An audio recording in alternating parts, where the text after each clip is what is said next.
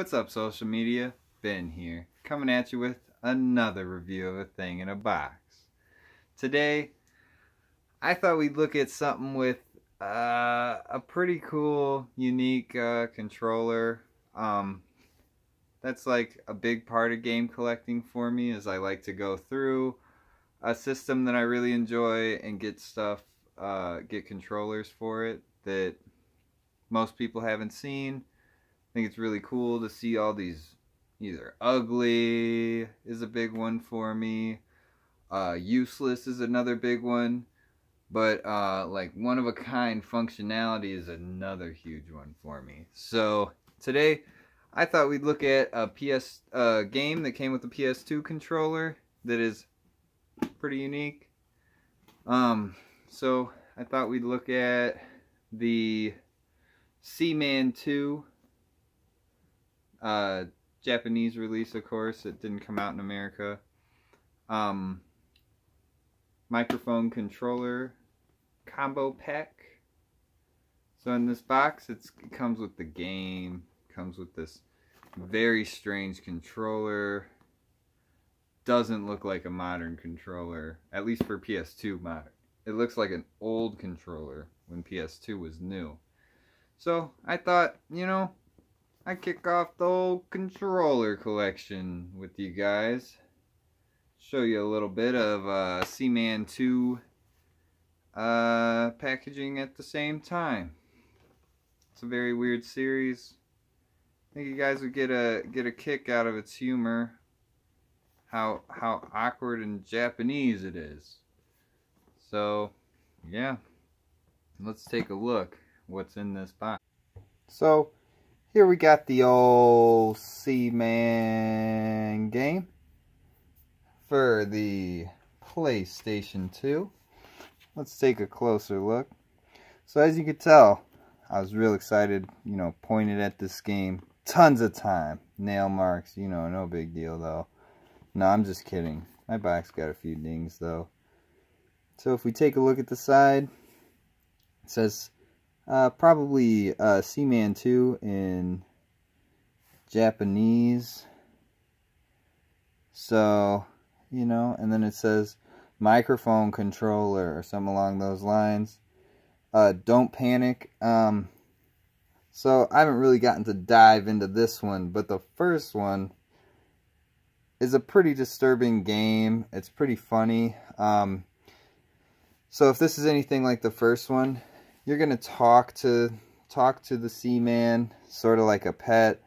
But from from what I understand, this is more like you're like a god character, sort of sort of raising and evolving your own species, sort of thing more than you're going to be like having a pet in a fish tank that evolves over time.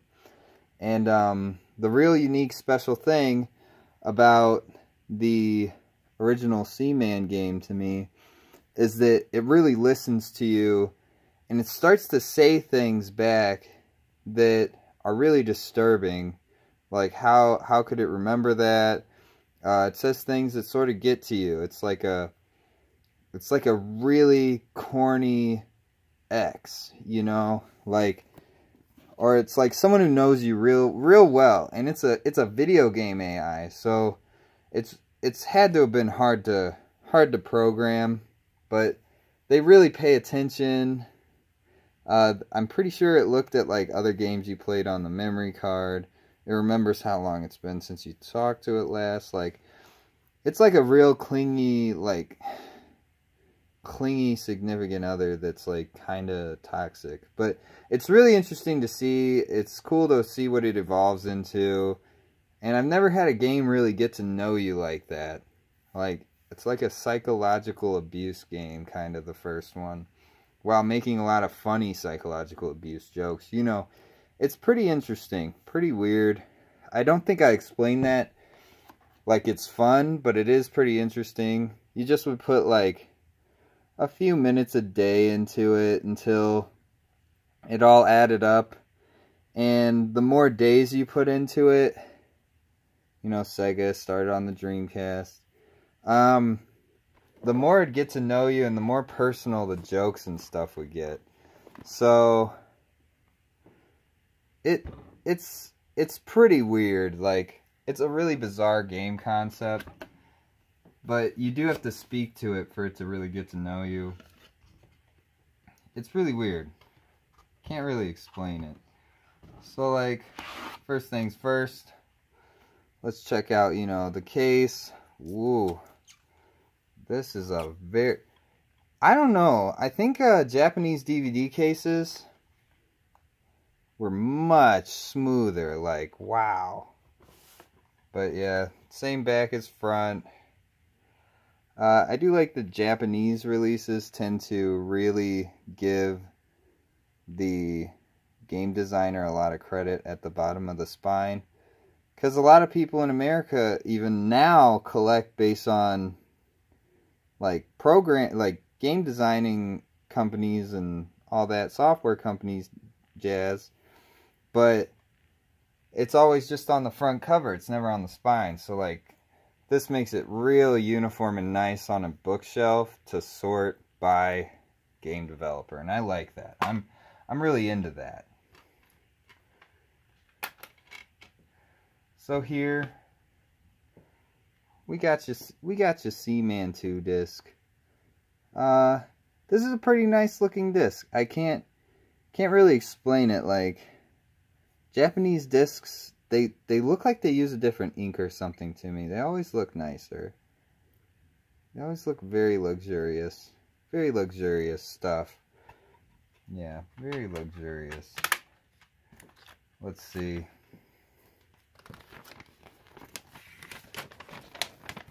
Ah, so here we got your basic, you know, instructions that I can't read on how to use the microphone controller. And they have the symbol for the first Seaman right there because he goes from like tadpole to frogman to. And it's always this weird, like, Asian man face. It's really disturbing on the head of the animal that's evolving. And it's a really blase voice. Like, you kind of got to just check out the first one. It's sick. But, yeah. So, yeah. But this controller, it reminds me of like a really awesome Sega Genesis controller. Or like a nice Sega Saturn controller. Like, I really like the controller design, but it does not look like a PS2 controller. It looks like it's missing a little much to be a PS2 controller. So we got here the little monkey man with your hands. So, because the theme is just sort of going to be the god of the game. So this is black, white, and yellow. There's a hairy butt. Don't flag me. But yeah, so got you your nice little, uh, nice little baby child person, you know, because like a kid playing in a sandbox. That's all. That's all God is to the Seaman's creators. And uh, wow, very cool, very cool. Don't exactly know what it says. But that is some good presentation. From the land of the rising sun. Dang! These kicks is nice! Puma got the free plug! Dang! No, Puma probably paid for that plug. Check out these shoes, though. I would wear those Pumas. I'd wear those Pumas for sure. See, this is more reminiscent of Seaman 1 to me than the Monkey Man. Because it's like some awkward human other animal. Like, like the avian form does not deserve the mammalian form, which is human. Just like fish people and amphibian people, like it just doesn't mix with me. It bugs me. It bugs me. Biology major here. So, yeah, I mean, I don't do black and white manuals that often, but I am all sorts of okay with um, black, white, and yellow manuals. But even then, like, at least it, it looks more, more important and cool. But, like, I like how it's, like, human hand. Like, dropping in the evolution. Very cool. It says it says to speak in the mic and he will do things. You know. Just like the picture. Just like the picture. Just like the picture. Just like the picture. What is this card? I wonder if it is a phone number to call in Japan. In Japan. That looks more like a old seaman.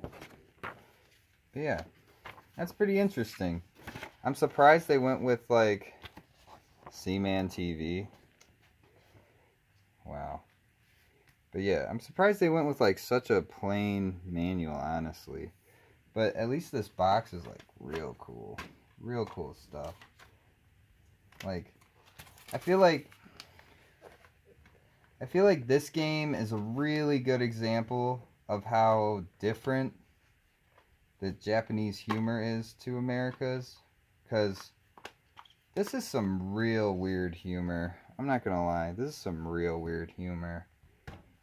Like, very awkward Japanese humor, but that's an American standpoint. They're probably like, how do you have such boisterous, forward humor? I don't know. I don't know what Japan says about us, though. I'm sure they got their own things to say as they observe the world differently than we did.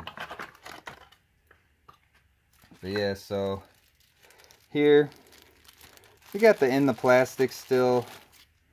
Uh, old, uh, that's the old, old microphone piece.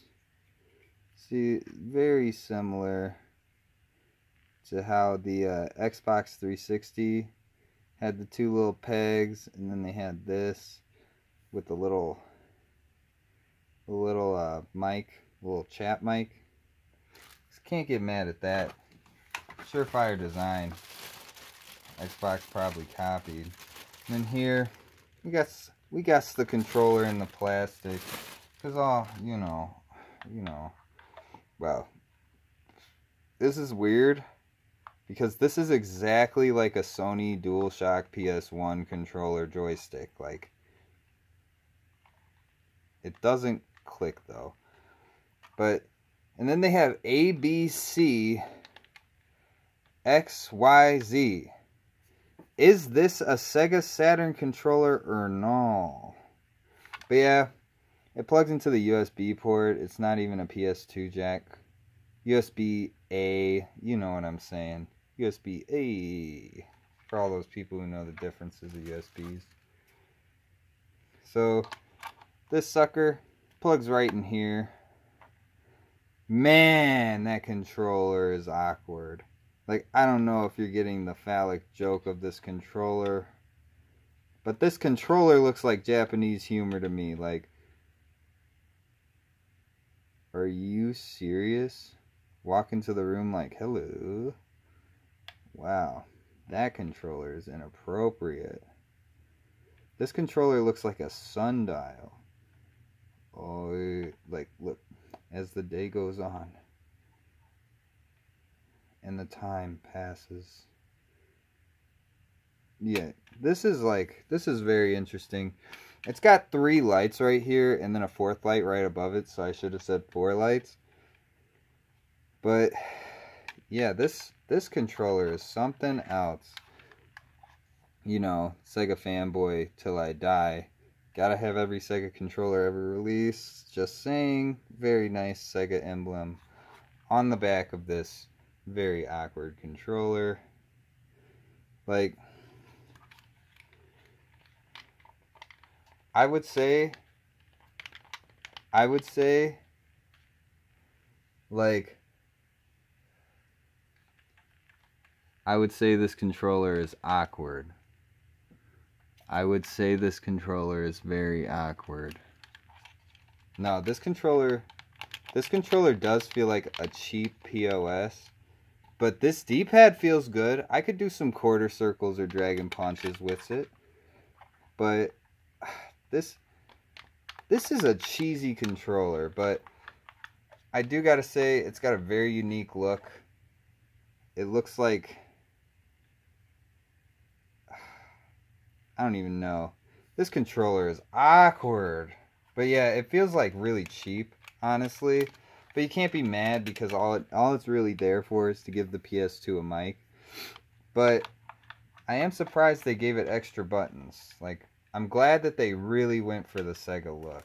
Like I really like that.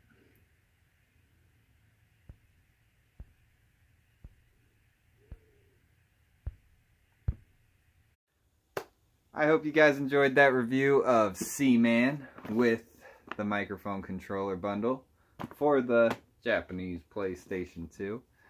Uh, this game is uh, about as funny as it is creepy. You know, if you play it, it might give you nightmares. But uh, yeah. It's a good experience. To try out the first one if you could find the microphone controller for cheap on the Dreamcast, burn the game, whatever. It's a pretty cool experience. So, yeah, if you like what you saw, don't forget to like and subscribe. And you can check me out on Twitter at Bing underscore Bailey. Thanks for watching. And as always, remember to have a great day.